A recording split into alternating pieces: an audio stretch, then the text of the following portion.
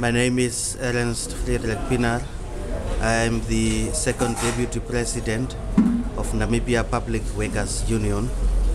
At AFRECON, I would really like us to strongly discuss the issue of privatization and outsourcing that is currently uh, taking place uh, in, in Africa.